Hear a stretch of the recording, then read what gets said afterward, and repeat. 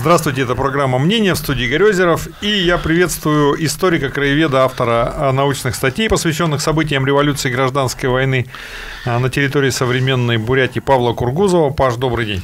Добрый день.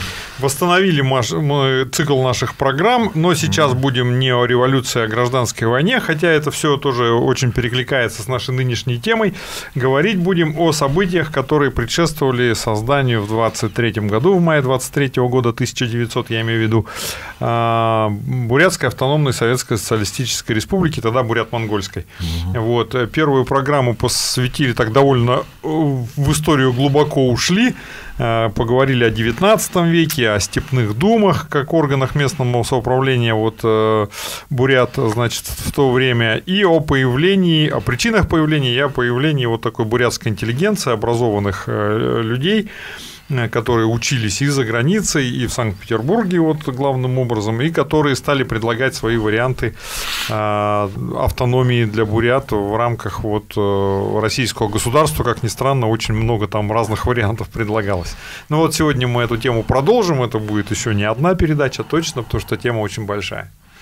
Да, и ну, обязательно будем касаться революции, гражданской войны, войны, потому что на самом деле э, все, о чем мы говорим, и весь этот период, он касался вот именно э, тех. Э, вот, ну, в общем-то, национальное государственное строительство Бурятии, оно выросло, скажем так, как раньше говорили, в горниле, да, помнишь, такое да, слово да, было, в горни, из, из, из, так сказать, горнила вот этих революций. 905 год, 1917 февраль, 1917 октябрь, разгон учредительного собрания, мы знаем, что такое октябрь, да, собственно, раньше, это, раньше это никогда не, а, не акцентировалось. А... Только про матроса Железняка вспоминали, что каких-то буквы да, там разогнал а, и все. Да, на самом деле, действительно, ну вот э, для многих тех политических сил, которые тогда участвовали во всех этих процессах, Октябрьская, Октябрьская революция или переворот, как он правильно называется, он э, был э, связан как раз с разгоном учредительного собрания, и когда вот,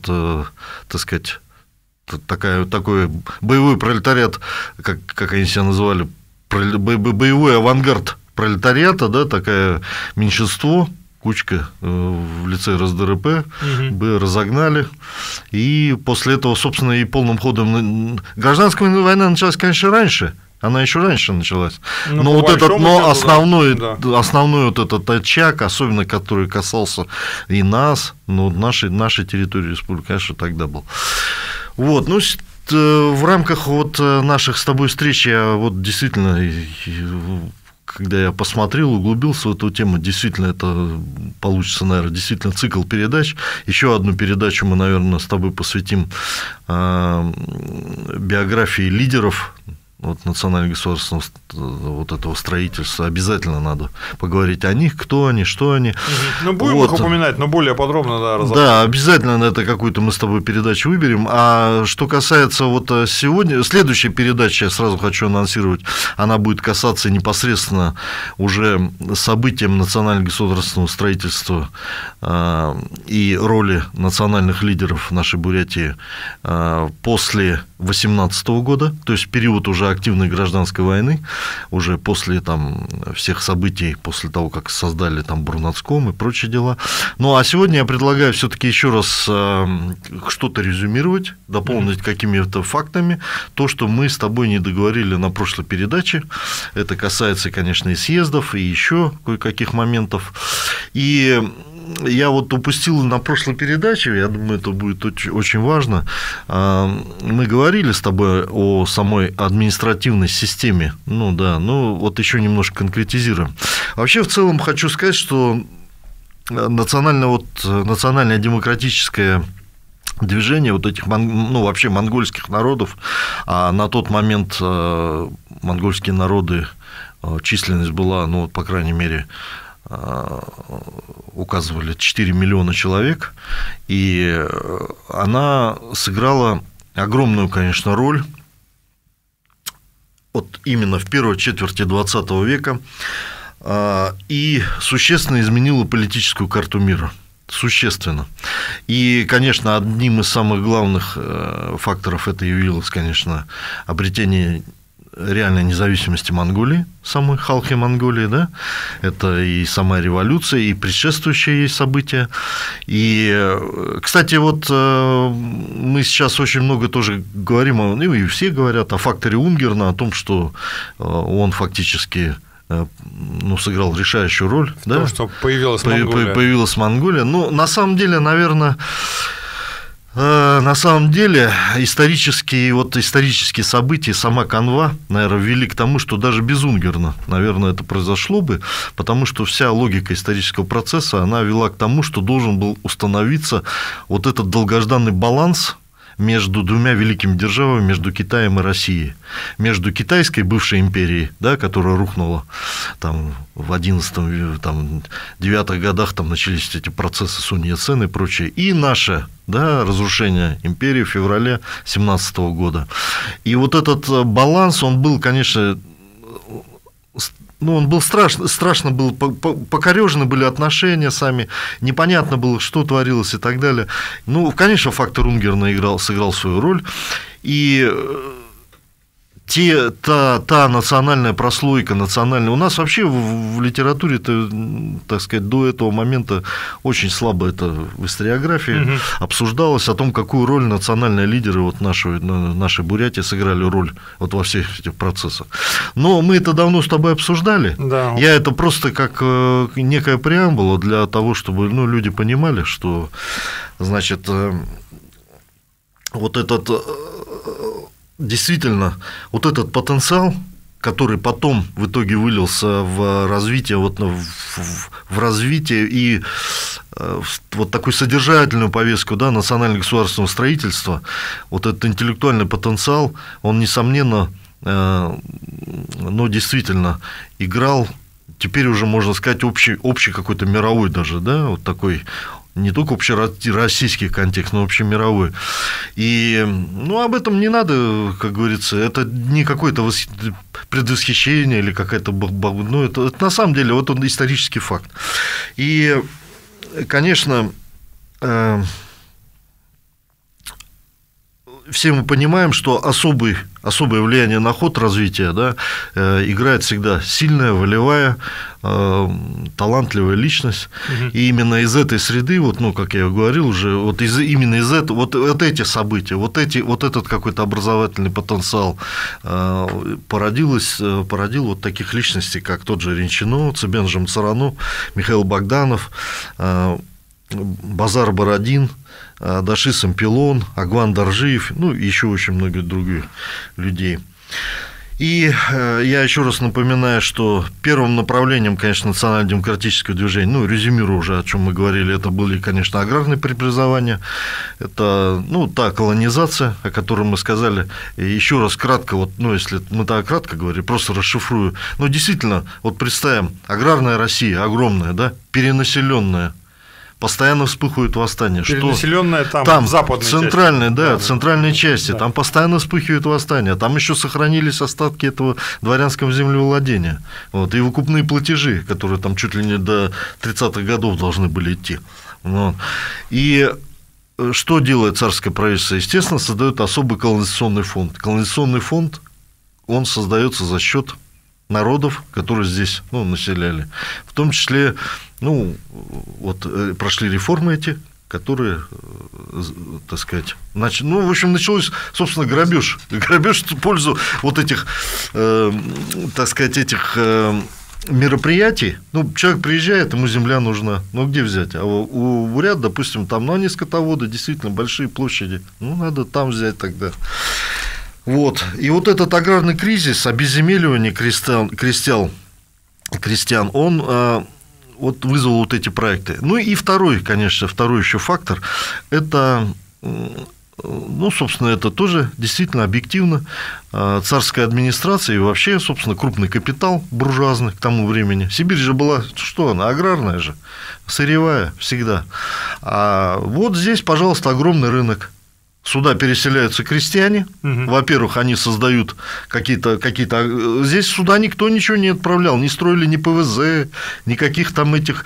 э, Первые, Ну, там, вокруг железной дороги что-то Да, строилось, и, да те- не- и- и частный капитал маленький. Да, ну не было никаких братских, производства. братских алюминиевых заводов, там, Ну, понятно. ГРЭСов, я не знаю, гуснозерских, не было там никаких заводов там и так далее. Ну, вот это, это такая была политика.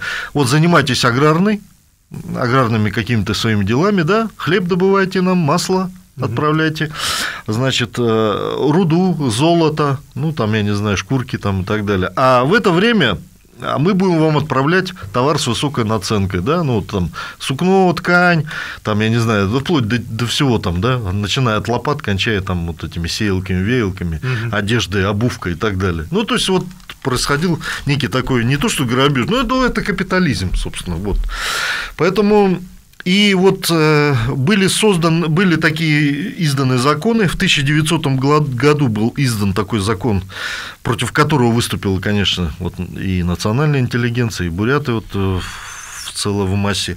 Закон назывался «Главное основание поземельного устройства крестьян и инородцев Забайкальской области» по которым вот эти колонизационные все эти мероприятия аграрные шли. В 1901 году вышел закон об устройстве общественного управления и судов кочевых народов Забайкальской области. И вот благодаря вот этим законам, собственно, ну, вообще эти процессы начались, оказывается, даже еще раньше, а, даже еще раньше. Вот в Иркутской губернии они начались э, в 1886-96 году в Иркутской губернии вот именно произошел слом вот этой системы а, родовых дум. Именно там они пионерами были. У нас позже немножко. У нас уже в 900... Степные 900 думы да, да, степные думы, извиняюсь, не родовые, степные думы. Ну, собственно, как и родовые. да, да, да. Они фактически прообраз родовых. И фактически вот этот указ э, правила Спиранского 1822 года, они были фактически стали разрушаться. Вот цель была их – это унификация управления, ограничение самостоятельности, самостоятельности местного наемства и, как следствие, ликвидация внутреннего самоуправления у бурят и изъятие большей части земли. Вот. И вот в Иркутской области к 90-м годам 19 века были ликвидированы все, все степные думы, а тогда было 7 дум Мгм. на тот момент. И образовали 23 народные управы. Это Абаганацкая, Аларская, Ашихабадская, Баиндаевская, Бельчирская, Боханская, ну вот в нашей степи тут Верхнеудинская, Ела- Еланцинская, Зунгар Боховская, Кайморская, тут даже вот не увидишь, Кудинская, Куйтунская, э, Кутульская, вот, и так далее. Ну, Они есть что из себя представляют? Это 23, это были, значит, некие такие, то есть это вот было 7, да, Степных дум. степных дум, да, а появились некие такие волости. Ну, волости. То есть взяли, разбили. а, Место, допустим, были созданы а, такие волосные правления, это некие волости такие, по образцу, как в России, Мгм. собственно. То есть, то есть, если в степных думах это было самоуправление на национальных э, да. да, на- народов самих, а здесь уже это, грубо говоря, там российские чиновники. были. Да, российские чиновники. Во главе стоял крестьянский начальник. Вместо вот была, там вот в, в думах-то были тайша Тайши, да, и, и, шу- и эти были и шулен, Шуле- Шуленги, да. шуленги. Вот, а получается сейчас уже был вместо них волосной старшина и староста. Мгм.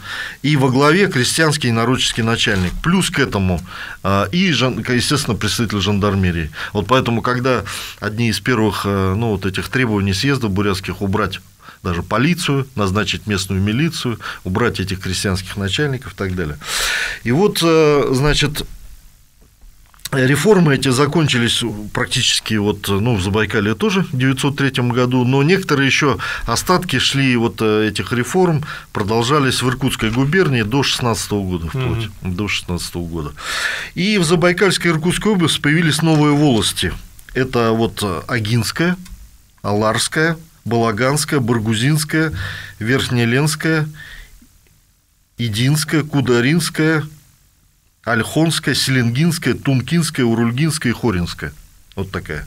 Вообще, это был период такой интересный. То есть, постоянно вот это что-то то вот так сделал, то это. Потом в дальнейшем вообще три э, сделали там три области. Ну, вот, допустим, в Иркутской области там, по-моему, было э, некие три такие волости. Это Верхоленская, ну, бурятские вот чисто, mm-hmm. да, это Тункинская и э,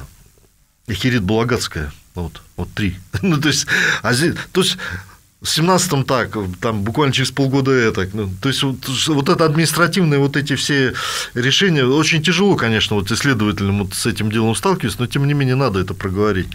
И вот волосные реформы, как я говорил, в Иркутской губернии до 16 года, и накануне февраля территория Бурятии тоже это надо знать нам. Она Накануне февраля 17 года. 17 года угу. входила в состав Забайкальской области уже из четырех уездов. Это Верхнеудинский, Баргузинский, Селенгинский, Троицкосавский. Ну, это мы много раз говорили, но тем не менее. И, значит, э, значит, э, в октябре очень важный такой тоже был э,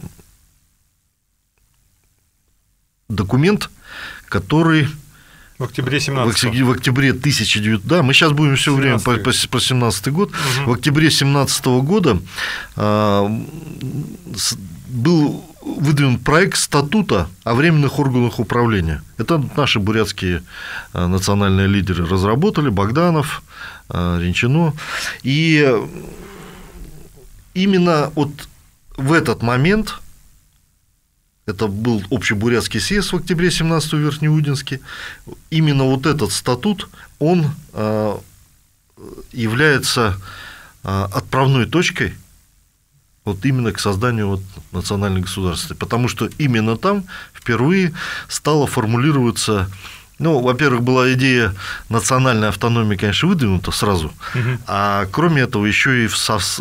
ну, так как это было еще как бы никем не одобрено и, так сказать, со стороны власти, но внутренняя структура, вот ты же помнишь, да, мы с тобой говорили, внутренняя структура, которая должна была э,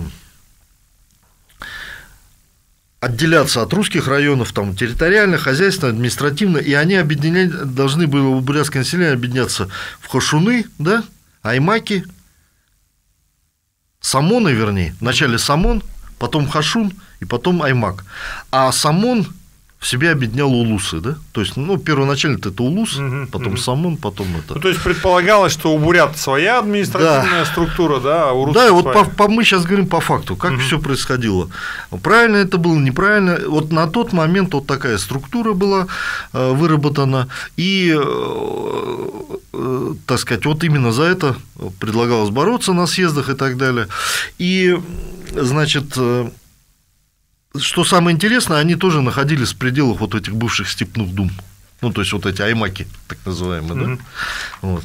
И были образованы четыре аймака у нас вот в 17 году. Это Агинский, Баргузинский, Хоринский и Селенгинский. При этом Баргузинский уезд сохранялся, и в нем же еще и Баргузинский аймак, да, был.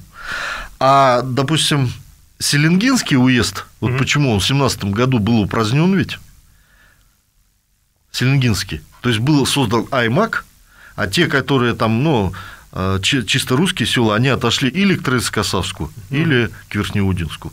То есть вот такая была, э, такое решение было принято. И вообще, надо сказать, это все явочным порядком происходило, так как вот эта вся эта машина-то, собственно, обрушилась государственно. Да. Уже ничего не было. Но, тем не менее, тем не менее, вот эти инициативы встретили сопротивление у Временного правительства, конечно, и состоявшийся вот э, съезд был Забайкальский комитетов общественной безопасности в Иркутске. Он, э, по-моему, в июле, он тоже резко отрицательную вообще дал оценку всем этим действиям, потому что на самом деле эта идея была и царского правительства и так далее, что ну, национальная автономия быть, но в роли, в, в, в, в рамках культурно-национальной автономии. То есть никаких границ, никаких административных там этих, пожалуйста, создавайте свои национально-культурные там вещи там и так далее. Да? Вот. Это первое. И второе, значит, ну и основные вопросы мы решим все после, после учредительного собрания. Вообще вся страна жила вот этим созывом. Да, да, да. да, Там пришел Железняк. Весь 17-й год жила, жила, да, в январе 18-го. Пришел Железняк. Да, караул устал. Да. Павел, Павел Кругузов, программа мнения. Паш, прежде чем ты продолжишь, а? такая вот интересно э, разложил ситуацию по поводу Монголии, да, угу. что вот буфер между двумя большими государствами был необходим. Но получается, что здесь Россия выиграла дважды, да. Во-первых, буфер был создан за счет части китайской территории, и во-вторых, э, на этой территории появился строй дружественной России. Ну да, вполне, ну, естественно. Хотя по логике, наверное, может быть, это была бы полноценная вот Бурят-Монголия, да, вот здесь вот Бурятия, вот здесь Монголия, но события завернулись так, что вот за счет Китая все это произошло. Да, действительно. Ну, с другой-то стороны, ну как за счет Китая-то? Ну, в свое время, да, это же было монгольское государство в конце 17 века, которое вошло, вошло там, да, добровольно, ну, да. недобровольно, скажем так, полудобровольно. И все это время, конечно, они монголы, они всегда мечтали о независимости. Тем более, что Китай, Китай-то в то время, он не как сейчас там, да, Китай это мягкая сила там и так далее, вкладывает деньги в отстающие провинции. Ну, а такое наоборот... довольно монолитное. Да, а наоборот, он уже всех загнал там в долги, всех там, включая там, я не знаю, на 20 лет вперед все население Монголии было должно там, я же тогда помнишь, мы да, читали, да, по 20 баранов там, по 10 коров там, там еще что-то. Так и не только Монголии, но и вот на территории России тоже многие были в долгах, да, у китайской, у китайских предпринимателей. Диаспора-то, ну, да. это другое дело уже, но там-то на, на уровне государства, плюс к этому начались уже процессы, э, так сказать, окитаивания в таком плане, что, ну, монгольский язык нельзя учить, там, и так, ну, тут такого плана. И, конечно, Монголия тут Монголия был свой фактор. Монголия был свой фактор. Ну да, интересная твоя ремарка. Стоит тоже задуматься да. Да, над этим. Но это уже на совести слушателей. Пусть э, подумают. Я просто продолжу. Хочу ага. сказать, что и лидерами национально-демократической, кто стал, стал лидерами? Это, как правило, вот эти образованные учителя, ну, из учительской среды, да? Угу. Это родовая Знать. Знать наёны. И это, конечно, буддийское духовенство. Вот они одна из первых. При этом если учителя были в основном где-то там, ну, с Иркутской области, там, ну, где-то оттуда, то вот родовая знать и так далее, это в основном Хоринский район, Хорин, Хоринский, Селенгинский, вот, вот это оттуда. Ну, частично там, может, с Баргузина. Но в основном Хоринские, вот угу. эти знаменитые рода. Вот, и, значит, и Агинское, конечно, ведомство. Ага сыграла большую роль. Вот, вот это надо уточнить. Угу. Агинский, там очень крепкое такое ядро было, и тоже грамотные люди. Вот. Э, и вот в феврале 17 года Элбек Дур Жеренчино сколько ему, по-моему, 26-27 лет, там в тот, тот момент был молодой, начинающий лидер, да, общественный, э, пишет статью в газете «Великая революция», и инородческая проблема в России, где он горячо э, с горячими словами как бы встречает февраль, говорит о том, что ну, мы, в общем-то, готовы э, значит, пойти на сотрудничество и так далее, но при условии, что вот эти поду такого самодержавия и, и т.д. и т.п. Вот. И э, в это время надо отметить, что сам Ренчино и Богданов, они Э, в семнадцатом году они жили в Чите. Да, мы об этом говорили. Тоже. Да, в Чите, где в конце 16-го работали в Забайкальском союзе кооперативов они. Они кооператоры. Именно в этот же момент, э, потому что кооперативщики – это все эсеры. И вот в апреле, они, в марте, в апреле они вступают в эсеровскую партию, при этом э, симпатизируют крайней части левым эсерам, максималистам, угу. а возглавляла ее Мария Спиридонова знаменитая, да, вот, вот эту, она была в ссылке как раз в Чите, ну вот они, они с ней, в общем-то. Вот. И э, к этому времени бурятская интеллигенция вообще выделяла среди других регионов России э, своей численностью и образованностью. Это действительно так. Э, это была группа молодых людей, действительно широким кругозором, государственным мышлением, очень энергичные творческие люди. Ну, по мнению многих исследователей. Хотя чаще, когда вот мы советскую историю слышим, да, и вот применительно к Бурятии, там поголовно неграмотное, больное население там, и так далее, и все остальное. Это вот нет. советская власть принесла очень много Нет, нет, это правильно, на самом деле, действительно было. Нет, ну, нет, ну, тут, Одно конечно, другому не мешает? Одно, не то, что одно другому не мешает, это смотря как посмотреть. Ну, конечно, пропаганда-то такая была, ну, с другой стороны, а, действительно, грамотность она не превышала там 7-9%. А именно вот эта когорта, плеяда, вот этих, ну это они как, как лучшие прессы, как сливки общества. Вот, ну вот именно в Бурятии. Угу. Даже в Якутии нигде вот, ну, такого нет, не было действительно среди народов, вот малых народов, что ну, не в обиду там, потому что на самом деле были и там, наверное, лидеры такого масштаба. Но это те люди, которые смогли повернуть даже вот это жернова монгольской революции так, что и вообще завернула вся эта вот эта как сейчас говорят, движуха, да? Страшная, конечно, с одной стороны, а с другой стороны, очень интересная. И Конечно, это были европейски образованные люди. Вот вспомню, это тот же Богданов, да, о ком мы говорили. Это Цибиков, это Жамцарано, это Бородин. Это общественные деятели, вот Бато Далай Ачиров, да, о котором мы говорили, с лошади, который упал Погиб потом, в 13 да. году, да. Да, это Элбек Доржеринчино. Это такие просветители были действительно, как э, Хангалов. Хангалов, вот знаменитый, да? Видел же, вот, наверное, трехтомник его. Да. Ну, вот музей у нас имени Хангалова. Вот. Это Амагаев, это врачи Емпилов, Трубачеев, Цибиктаров, Жабе.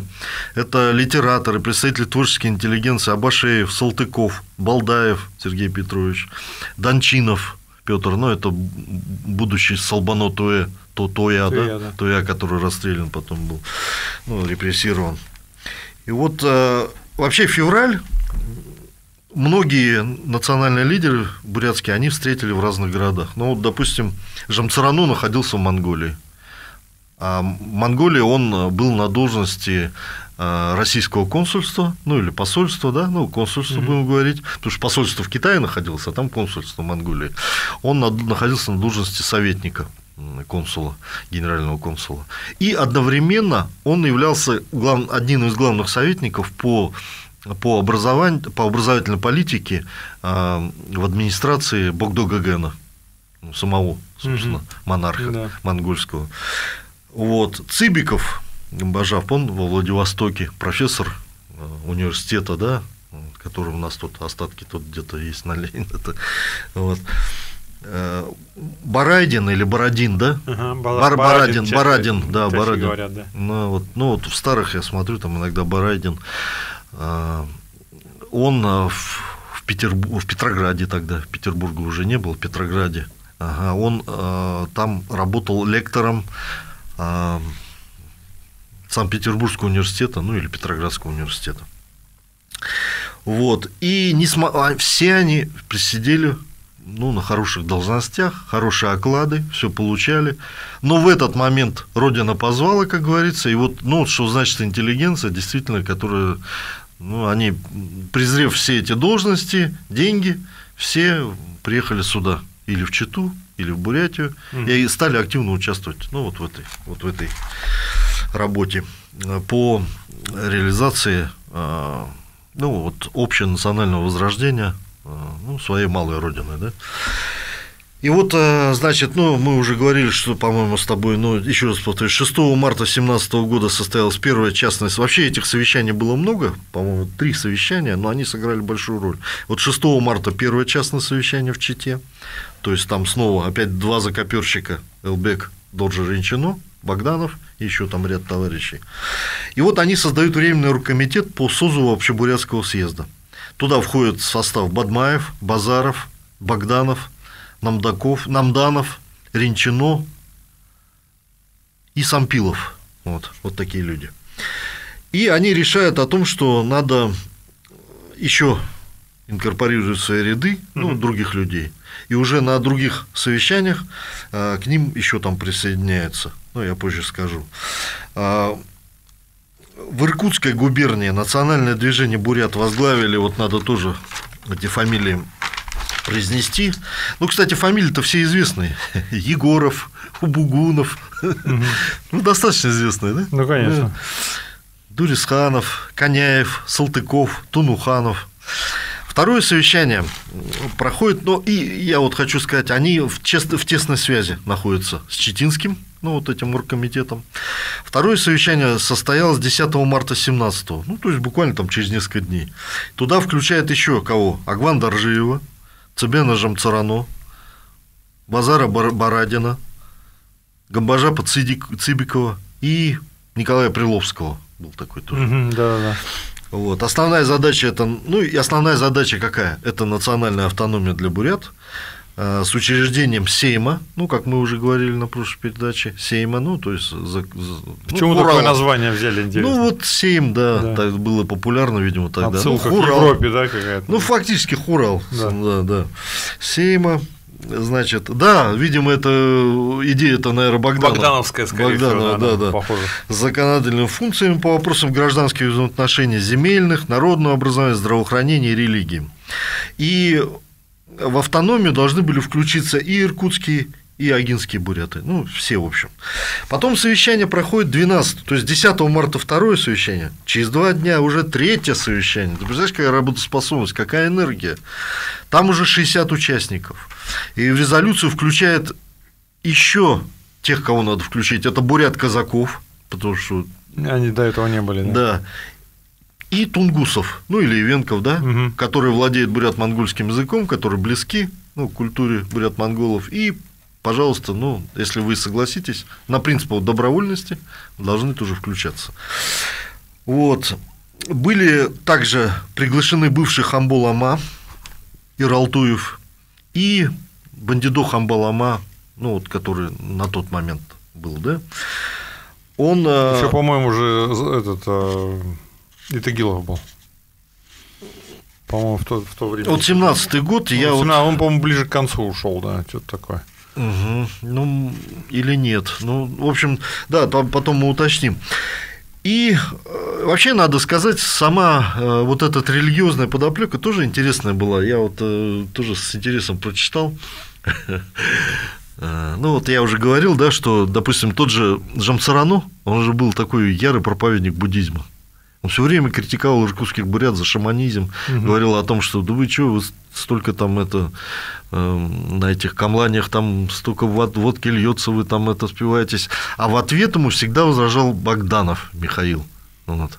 Кстати, настоящая, ну, фамилия отца-то Мархеев, Мархаев у него. Мархаев. Ну, угу. Богданова. Вот. И он... А он, по-моему, фамилию жены что-то такое взял. Да, вот я вот, ну, потом мы да. передачу посвятим, угу. по поговорим. И он же, он вот при всей его образованности, при всей этой, он был верен от шаманизма. Он всегда защищал этот шаманизм, всегда вот иркутских бурят. Он был крещен, ну, формальным образом. Mm-hmm. На самом деле был шаманист. И даже был случай такой, там один описывает его товарищ, когда он в свое время жил в Санкт-Петербурге, учился там, ну, в университете, или где он там, ну, вот, в общем, mm-hmm. учился там. Он жил на Васильевском острове. Третья линия, там дом есть. Вот. И а как раз это были годы 904-905 год как раз шла вот эта русско-японская война, все время его принимали за японца, и все время кричали «бей японца, бей японца». А с ним ходил его друг, который все время его защищал. И вот э, там он, этот друг пишет, он жил в это, у, говорю, это женщины, у чухонки, ну, видимо, это какая-то латышка, ну, кто mm-hmm. это, что, ну, я не знаю, финка или кто mm-hmm. она была. В общем, она тоже так подозрительно на него смотрела, Типа японец не японец, он потом привыкла, поняла, что этот он тихий, спокойный, из дома-то он особо не уходил, все время занимался. Но у него была его ритуальная маска берестяная, вот mm-hmm. эта шаманская. И вот как-то он приходит, а маски нет. А она, короче, напуганная вот этими всеми делами, взяла и сожгла эту маску, да, выброс... удобно, да. выбросила в печку, сказав, что типа, ну, у меня не было тут это, ну, чем, чем раз... Хотя на самом деле, ну, это просто от, скажет, ну, что это за какой-то mm. это шаманизм. Ну, они посмеялись, конечно, ну, он там тоже был огорчен, но потом это со смехом восприняли. И, ну, вот я, я тоже с интересом вот это прочитал, действительно, то есть я говорю это почему? Потому что вот чтобы слушатели поняли, как, на как каком, это все на каком, было, на да. каком ментальном уровне и разногласия шли, с одной стороны, а с другой стороны, тот же самый Богданов и так далее, он всегда говорил о том, что давайте привлекать всех, давайте всех, того же самого Пирожкова. Ну, Пирожков, кстати, помогал ему, когда он в Казани учился. Вот. И, значит, ну, еще кратко про... Вот мы с тобой говорили о том, что в Петрограде был организован вот этот э, Бурятско-Калмыцкий комитет. Да, да. Да. Председатель Халхасаев – а, значит, он был уполномоченный по сбору пожертвований на нужды войны и заведующий бурятским лазаретом, то есть раненые бурятские а, какие-то, ну, казаки там и так далее, они в Санкт-Петербурге лечились. И он был заведующим вот этим делом. Был человек консервативных взглядов, из этих стародумцев. Угу. Вот. И его заместитель был Калмык Ачиров, секретарь, кроме этого, туда входил секретарь-лектор Петербургского университета ну, Барадин, Барадин, mm-hmm. да. Потом, значит, в состав входили Цанит Хамбо, Лхарамба Агван Даржиев, Лхарамба Баваев, Шерету буддийского храма в Петрограде Санжиев, уполномоченный бурятской а, уполномоченный бурят Орангойской волости Циринжапов, управляющий буддийским храмом Намсараев – помощник дела производ... дело производства Главного управления по делам местного хозяйства Министерства внутренних дел Российской, ну, вот, то еще не империи уже, угу. Чони, Чонов, Чонов и Курсиска Хангалова, как, как ни странно. Ну, то есть, я не знаю, может быть дочка. Ну, ну, потом, значит, и народ Забайкальской области Жамбалун, и студент сельских курсов еще один Чонов. Ну, то есть, вот такая группа была. Вот.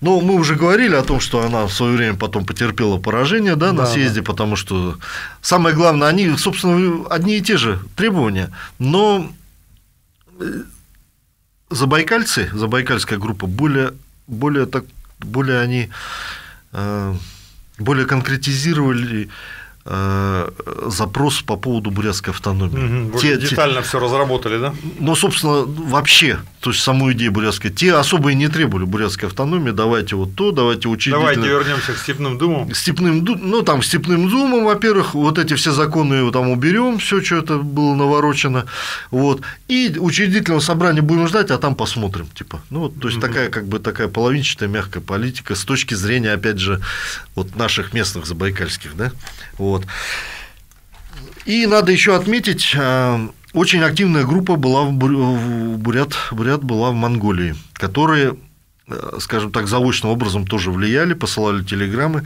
Это вот Цибиктаров, доктор, которого да. потом эти приспешники Погиб, по, по барону Унгерна э, значит, убили. Это Бутуханов, будущий Бутухан, министр да, этого просвещения, он был, он был потом в дальнейшем. Это Дончинов, это Бардамов, это Абашеев, Вампилов и Турбачеева была такая. Угу. Тоже все фамилии известные. Да, вот. И Значит, 24 мая 2017 года происходит заседание Бурнацкого, ведет Ренчино, э, присутствовали Богданов, Жамцарано, Базаров, Банзаракшин, Самбуев, значит, Шойванов, Цибикдаржиев и Ринчиней. И они принимают решение, ну, окончательно о упразднении, о непризнании Петроградского комитета, и потом еще на съезде Гусинозерского, вот этого Тамчинского Дацана окончательно угу. было о том, что все, он переходит в видение суда, ну, к нам и так далее. На этом история заканчивается. Хотя, на самом деле, конечно, во всей историографии все это негативно так. Я думаю, все эти Ханхасаевы и прочие, все эти люди, они тоже, на самом деле, были э, люди, которые э, ну, тоже патриоты, mm-hmm. тоже любили ну, конечно. родину. Просто сейчас какой-то, ну, победители, знаешь, они победители не судят, победители судят побежденных. На самом деле, я думаю, что и те, и другие-то просто по-разному смотрели на судьбу Бурятии. И вот в марте 17 года состоялся еще один интереснейший, это съезд представителей 11 хоринских родов в Анинске. Тогда даже не было Хоринска, было село Анинское. 119 делегатов, Какие там? Это восстановление национальной автономии, это упразднение булочных властных а, учреждений. Вместо них самонные хашунные комитеты. Во главе этого процесса поставили, создали они так называемый аймачный комитет, Аймагун Чугул Ган. Пять человек э, туда входило Э, значит, с правами уездного комитета. Это, ну, там основные требования, естественно, образование национального суда, отставление исконных прав бурятского населения на их родовых землях, ну и так далее. Вот, то есть основное. И, э, значит, а, национализация школы, восстановление статуса бурят-монгольского языка, как прогрессирующая. Но вот в дальнейшем вот тот же Бородин, он, допустим, внес резолюцию с обязательным изучением русского языка тоже. То есть общегосударственный должен русский язык. Угу. Вообще в качестве вот надо сказать, что у нас как бы такие жупелы, такие вот какие-то ярлыки, вешали там нацмены, националисты и так далее. Но вот даже взять, вот я процитирую, допустим, того же Жамцарану, вот он пишет, еще в период Первой русской революции, вот цитата, «Для нас, верующих свой народ, возможность культурного возрождения всех монголов, в скобках, а не политического и шовинистического панмонголизма, иркутские буряты – это малая толика всего 4-миллионного монгольского народа, и есть только одна из тысячи точек приложения силы для проведения своих идей. Буряты все, забайкальские и северобайкальские, только авангард, а может стать и арьергардом просыпающихся монголов. И со стороны России русского народа должна идти демократическая волна к монголам, ибо у русского народа нет того презрительного высокомерного отношения к инородцам, какое замечается у других народов Европы и Америки. Только у русского народа, а не его правительства, мы видим широкую терпимость другим народам. То есть вот э, вот такое отношение угу. очень выверенная, грамотная, дружелюбная. Действительно, это, ну, я поэтому и говорю всех э, и слушателей и так далее, ну, надо читать, конечно, в подлиннике все вот сочинения и так далее, потому что о чем бы мы ни говорили, вот эти все жупилы, все эти какие-то политические, вот это, вся эта трескотня одно время была, там, националисты, еще что-то. Надо просто вот какую-то понять сложность вот этих процессов. Да, были и такие вещи неприемлемые для нас сейчас, может быть, да, но надо понимать просто исторический момент. Вот принцип историзма, я всегда говорю. И, значит, э, у нас, значит, э, еще один момент, да, э, создавался, значит, выше, вообще вот в принципе в результате всех этих съездов и так далее а, была выработана позиция, что должна быть создана а, а, создана созданы такие условия, которые бы снова вернули вот, ну вот это опять же вот по поводу съезда того вот этих, угу. В общем-то, он съезд под аккомпанемент стародумцев прошел вот эти хоринские рода, да, что вернуться к этим э, к уставу Спиранского 22 года там, и так далее, да, значит, э, применение телесного наказания запрещалось навсегда, уже вот впервые, потому что на самом деле были телесные наказания. Угу. То есть, пожалуйста, внутренний бурятский суд там что-то он там натворил, палками его, э, столько-то палок, ну, теперь запрещалось. Приговоры только на основании вердикта присяжных заседателей. То есть, вот какой уже был да. на, самом, деле прогресс. А, и особая особая национальная территория должна быть выделена после решения учредительного собрания. Вот это было важно. И национальный герб тоже. То есть они уже хотели герб тогда уже, да? Может быть, Саембы там угу. какой-то в какой-то там, я не знаю, но нет. Решили, давайте вот сделаем после этого. То есть, поэтому высшим органом съезд, между съездами Бурнацком, или он назывался Центральный национальный комитет, вот, и, э, значит, в конце концов, в общем, Еще раз скажу, что Временное правительство не поддержало все это дело. И вообще э, даже такие обидные какие-то резолюции там писали вот, на это, что, что они там хотят-то. Ну, вот. И, э, значит, потом прошел очень интересный съезд второй, второй съезд, общебурятский съезд, это 10-15 июля 17 в Гуснозерском Дацане, где было принято очень тоже важное решение о земстве среди бурят. Вот. И э, в конце концов, э, вот это земство, земство среди бурят, конечно, это тоже вот это решение сыграло большую роль. Ну, это тоже огромный такой шаг вперед. То есть решительно они отвергли вот, э, вот эти э, решительно отвергли предложение о восстановлении вот этих старых дум, да? Ну, Каких-то есть... национальных структур самоуправляемых, С... да? Не, вот э, пусть это национальная структура, но она должна быть уже в виде земства. Уже ну, ну, ну, то есть, со своими... то есть уже, да, единообразное да. управление по всей стране, грубо говоря. Да, это, и это на самом деле было, ну, действительно соответствовало буржуазному угу. подходу, да. буржуазному ходу развития, да, не какому-то. То, что те э, все-таки те думы это оттуда, из какого-то феодализма еще, ну это ну такая да. вещь в себе, да, что-то там происходит, да, да, на, на, да и да. как бы да сложно. С одной стороны, с точки зрения, наверное, национально-культурной автономии хорошо, но вот, с точки и вот еще хочется сказать, что действительно была прямая демократия. Вот этот 119 вот этих делегатов, 119 делегатов Хоринского съезда от 11 да, родов э, хоринских бурят избирали, знаешь, сколько? 52 тысячи избирателей. 52 тысячи. Серьезно. Да. А, и приняли решение по поводу религии еще, что избирается всеми буддистами, избирается Хамбулама. То есть на основе прямого, равного и прямого чуть ли. Всеми прям. Всеми буддистами. Ну, вот именно буддистами. Ну, было такое принято решение. Значит, ну и, конечно, ликвидация местных органов царской власти, это уже мы говорили, да, преподавание в школах на родном языке, организация учительских семинарий и, тоже очень важно, приняли решение запретить платить ИСАК. Ну, как раньше в кабинетной земле, царя уже не было, а да. а Исаак продолжал идти. Сказали, все, мы Исаак прекращаем туда платить, но Исаак будет, но он пойдет на цели национально-культурного строительства, на школы, на культурное образование, на стипендии нашим ученикам, угу. на лечебницы местные и так далее. Да. И, значит, кстати, вот и еще очень интересное тоже когда они, вот этот Гуснозерский съезд был, да, э, я посмотрел, э, то есть там было тоже такое половичатое решение. С одной стороны, религия, значит, в наказах, выработанных средствах, является частным делом каждого гражданина. А в основных госзаконах должна быть гарантирована всех граждан полная свобода исповедания религиозных убеждений. То есть очень тоже такая прогрессивная. Прогрессивная мера. Да. Второе. Число духовных лиц и способы их содержания определяется религиозными общинами на основании всеобщего, равного, прямого и тайного голосования. Третье. Все дети школьного возраста обоих полов должны пройти четырехгодичную светскую школу с обучением на родном языке, и лишь после ее окончания – могут стать хувараками. Ну, или уйти дальше в образование, mm-hmm. или в светскую.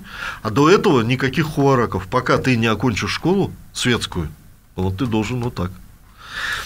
И датсанам было предоставлено право устраивать духовные школы следующих типов. Вот смотри, школа философии Чойра с 20-летним курсом с обязательным преподаванием монгольского языка. То есть 20 лет, да. чтобы ты должен... Второе. Школа Джут 15 лет. Школа Тантрическая, да. Дуинхор 9 лет. Медицинская школа, ну, то есть это тибетская медицина, 10 лет. Школа математики и астрологии Зурхай с астрологическим отделом Янгир 7 лет.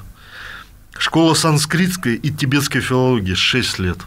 Ну, а самое что-нибудь 20 лет Чойра, да? Ну, вообще то есть век живи, век учись. Да, да. Ну, философия, да. Краеугольный камень такой, основа. И вот, как я уже сказал, во главе буддийского духовенства должен стоять Бандидо Хамбалама на пятилетний срок, который избирался, на пять лет, как президент на основании всеобщего, равного, прямого, тайного голосования всеми буддистами, проживающими в Восточной Сибири. Даже сейчас такого нет. Да, вот и Настоятелями избирается. Да. Ну, вот, ты, вот видишь, какая система была. Ну, таким образом, согласно решению общенационального съезда, религия объявлялась частным делом каждого гражданина. Но это в русле вот этих февральских всех вот этих свобод и так далее. Да?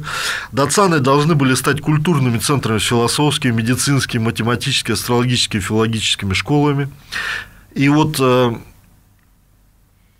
огромную роль, конечно, Агван Даржиев сыграл вот в этих вот во всех этих предложениях. Вот этот просветитель наш, это известная личность, да. собственно, мирового масштаба человек. И вот я и большую роль в организации национальной автономии сыграл еще третий общенациональный съезд бурят Забайкальской области Иркутской губернии, который состоялся 8-15 октября в Верхнеудинске.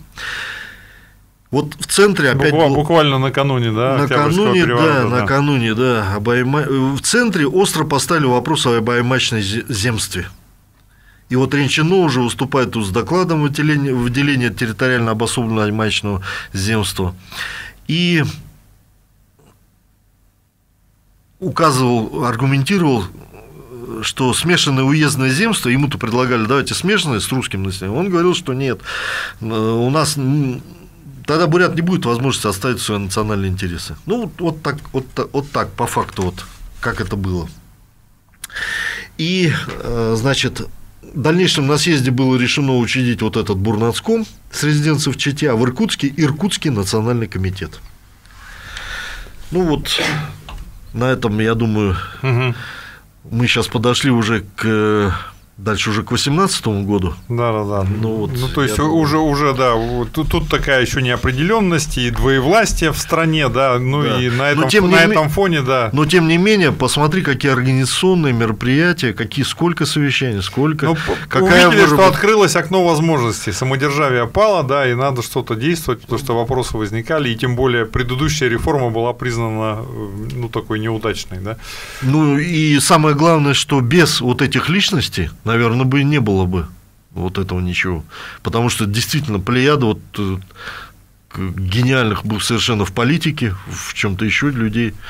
Ну, тем более, что очень были образованы. Ну, допустим, тот же Жамцарано, казалось бы, из толщи народа там человек, да, но он знал-то, по-моему, пять языков. Угу. Вот смотри, Этнограф выдающийся был. Тибетский, русский, французский, немецкий, э, монгольский, ну, бурятский, само собой, вместе с бурятским с родным-то шесть. Да. Ну, то есть, при этом, конечно, вот э, забегая вперед, он уже отказался потом в том, э, так сказать, э, спектакле, который в свое время там Атаман Семенов решил создать вот это, так сказать, подмонгольское серединное государство, он же отказался от этого ему прочили там пост министра иностранных дел, он отказался. Угу. А здесь он участвовал во всех этих э, процессах. Ну, мы потом отдельно еще поговорим. Обязательно. Про да. ну, и, и, про... и их энергии хватило, да, и мощи хватило и на монгольское, собственно, государство, и на монгольскую революцию. Да, да, потому что это были ключевые и советники, и те люди, которые занимали ведущие там, извините меня, эти посты там, участвовали в создании и монгольской армии, и монгольского образования, и ну, в общем-то, всех сторон жизни. Паш, спасибо огромное. Мы эту тему продолжим через две недели. Историк, краевед, автор статей, посвященных событиям революции гражданской войны на территории современной Бурятии, Павел Кургузов принимал участие в программе «Мнение», вел передачу Игорь Озеров. Всего доброго, до свидания. Всего доброго.